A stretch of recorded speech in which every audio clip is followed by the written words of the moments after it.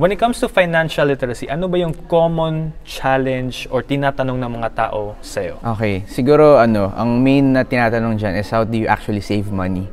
'Di ba? Kasi you cannot really invest if you don't save money. 'Di ba? Parang anong ilalagay mo dun sa investments mo kung di ka naman nakakapag-ipon? And ang pinaka-question dyan uh, madalas is how do you save money kung talagang sakto lang yung income mo? 'Di ba? Kasi lalo na ngayon medyo nagmamahal naman talaga yung prices natin, nagmamahal yung prices ng goods and services. How do you how do you manage all these things? So us- ang ang answer ko diyan, uh, number one is budget allocation. Okay. Parang you really need to uh, spend mindfully. Kasi most of most of the people, pag may pera yan, gastos lang ng gastos eh. 'Di ba? Bala na basta basta may pera ka, gastos ka lang. You don't actually budget the money. Like, kunwari, ilan ba dapat yung percentage sa, sa needs mo? Ilan yung percentage na dapat sa wants mo? Ilan yung percentage na dapat mo i-save or i-invest? So, you have to, you have to allocate properly. And lagi nating sinasabi, di ba, parang you have to pay yourself first. Mm-hmm. Which is, madali lang siyang sabihin. Mahirap siya gawin. Mahirap siyang gawin eh. di ba? It's, it's normal din. It's normal lang for people. Pero, if with the proper discipline, with the proper uh, mind setting, and then kung alam mo talaga ano ba yung goals mo, kung bakit mo ginagawa siya, then it becomes it becomes easier. Pero mas syempre, mas masarap pa rin gumastos. Pero now, you are motivated to actually save money. Mm. And um, hindi lang kasi pagtitipid yung ano eh, kailangan natin gawin eh. Kailangan, maghanap din tayo ng mga racket, di ba? Maghanap din tayo ng mag, um, uh, extra income streams we have to expand yung ating means. Mahirap, mahirap din kasi na puro save lang tayo. Minsan talagang hindi talagang kaya. sakto lang talaga eh. 'di ba? Hindi mo naman pwedeng pilitin. Hindi naman pwedeng from 3 meals a day, magawin mo na lang 2 meals a day ka. 'Di ba? You have to find some other uh, stuff that could actually earn you money. And napakarami naman nating free time. Ang dami nga nating time para mag-Facebook, 'di ba? So why not spend some of those time to be more productive? Correct.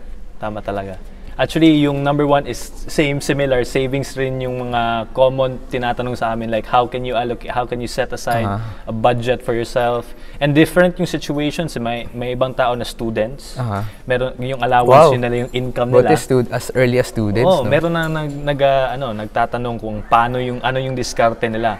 And uh, meron ding mga employees, mm-hmm. no? Like they are just earning minimum wage or they're just starting out in a company. Uh-huh. So paano nila yung i-save? Meron din na single parent, dalawa yung anak, uh, yun yung medyo mahirap kasi oo. you have you have children to parang Correct. you need to ano ba.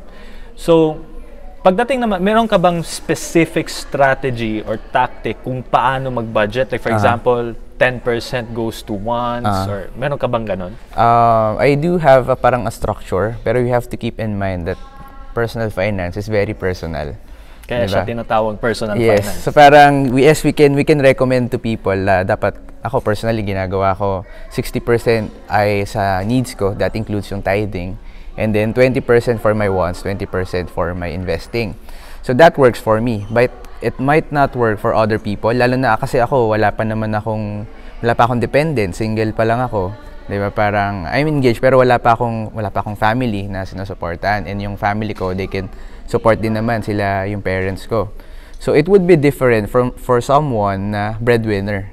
Kasi baka magkaroon ng, syempre, mas malaki yung mga gagastos siya for the needs. Baka medyo mag-sacrifice ng konti yung wants and uh, something like that. Pero ang siguro ang general idea dito is we really have to save some amount of our money for the future for our investing. And if you're going to ask me if ilang percentage ba yun, you could start small naman eh minsan when you try to do it big kagad, nabibigla ka tapos parang feeling mo ay nade-deprive na hindi ako. Rea- hindi realistic. Oh, hindi re- realistic. Hindi rin siya sustainable, mm. 'di ba? Mm. Minsan sige, on the first month parang you ha- you have this hype na sige, mag-iipon na ako ngayon. Pero after a few while since parang na-feel mo nga na parang hindi ka na masaya, masyadong hindi mo na na-enjoy yung pera mo, you stop saving altogether. Mm. So parang sige, build up mo lang 5% muna. 10%. Tapos hanggang pataas ng pataas. Wow.